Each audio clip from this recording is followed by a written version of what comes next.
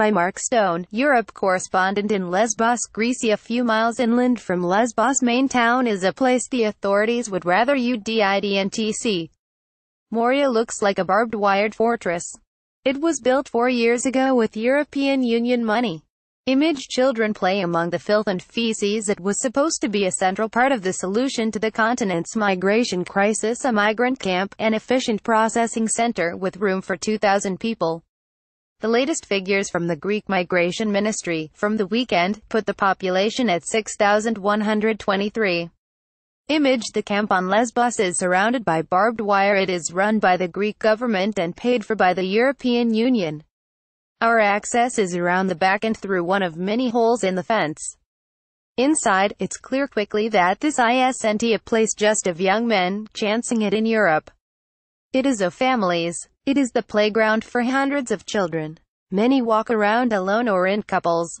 They wander among the rubbish and their own feces, which are everywhere. The charities are here Médecins Sans Frontières, the Samaritans, the UNHCR and more but they are totally overwhelmed. Our God through the war in is Abraham. He fled Iraq, he says, after he was persecuted for converting to Christianity. In the Middle East Iraq, Syria there is no life. Dangerous, he says. You don't have to seek the stories out here. They come to you. We meet Hamoud from Syria. He takes us to his tent because he wants to show us his daughter. She is very sick. Can you see her? He says. We don't know what's wrong with her because he doesn't either. She looks okay, which is encouraging. Hamoud's Syrian ID card shows the family is from the town of Raqqa, the headquarters of the Islamic State until the place was flattened two months ago. Image children play where rubbish has been dumped he then shows us why the family left. Abruptly, without warning he begins to undress. On his arms and torso are bulging scars from what must have been deep wounds that were not treated. He says they are from torture. He had refused to fight for us. It's impossible to verify the claim, but there is also no reason for us to doubt it. His wife s emotionless. The two children, in the tent, look vacant.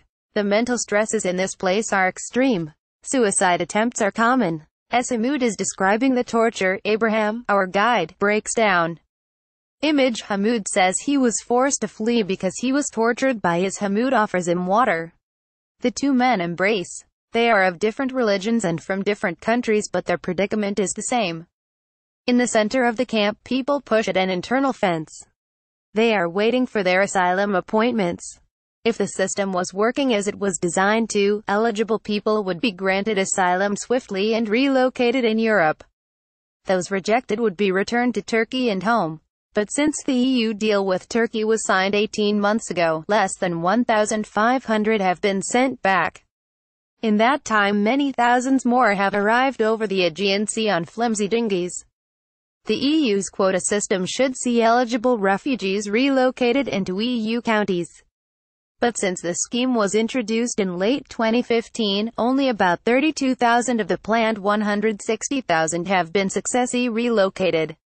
Image mental stresses in the camp are extreme and suicide attempts are common asylum applications, which should take weeks at most, are taking many months. The island's mayor, Spiros Galinos, blames the Greek government and the EU in Brussels. He is taking legal action against the Greek government for negligence. It's the worst it has ever been more people than ever, the situation is tragic in Moria. I think a state of emergency should be declared, he tells me. He explains that although the number of people arriving on the islands was far higher back in 2015, the difference now is that far fewer are leaving. The biggest problem has been the geographical containment on the islands while asylum claims are processed, he explains. Under the terms of the Turkey deal, if migrants are taken to the mainland before being assessed for asylum, they can't be returned to Turkey if their claim is rejected. Image children live in homes made of tarpaulins and canvas awnings so they are held on the islands. Recently though, there has been an effort to move the most vulnerable to the mainland. But back in the camp everyone looks vulnerable. We meet Mustafa. He's from the Syrian town of Kobane and has been here for two months. His asylum appointment, stage one of his journey forward or back, is another month away. He takes us down a corridor of blanketed cubicles to introduce his family. In relative terms, it is comfortable. They've found space in the least bad part of the camp. He pulls back the hanging blanket. Inside the tiny space are his five children and his wife. She is pregnant. The good news here is that they've seen a charity's doctor. But this is no place for a heavily pregnant woman. When I ask why they left Syria he says just H the Islamic State. He pulls his finger across his throat. Image Many of those living in the camp say they have fled from Islamic State there is basic medical care here. Abraham shows us the charity or an emergency clinic.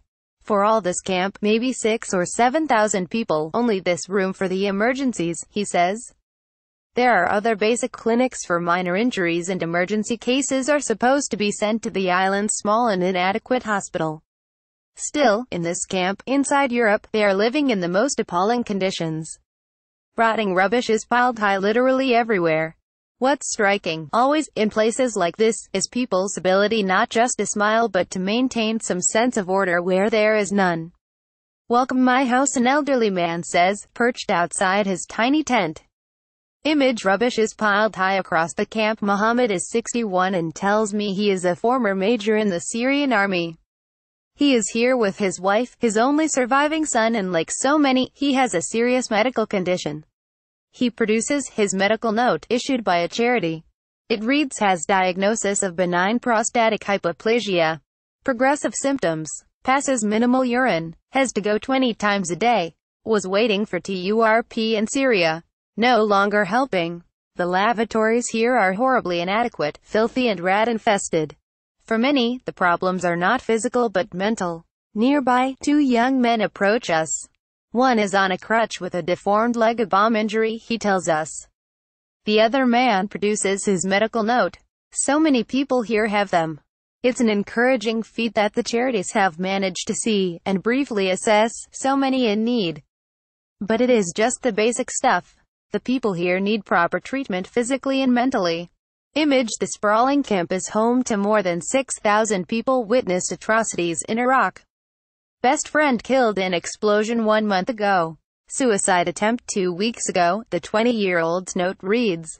It is two years since the height of this migration crisis. The human flow hasn't stopped and nor will it. It is the story of our time and with an impact yet to be understood. The camp here is overflowing. More and more tents are pitched beyond the perimeter fence. Greece is on the frontier and plainly, it can't cope. The European Union claims the crisis is easing their solutions are working. The situation at Moria would suggest otherwise.